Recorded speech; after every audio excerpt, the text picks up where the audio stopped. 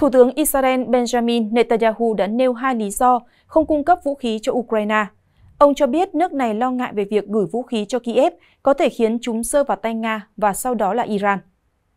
Trong một cuộc trả lời phỏng vấn với tờ The Jerusalem Post, ông Netanyahu cho biết, tôi nghĩ Israel đang ở trong một tình huống đặc biệt, khác với Ba Lan, Đức, Pháp hay bất kỳ quốc gia phương Tây nào đang hỗ trợ Ukraine.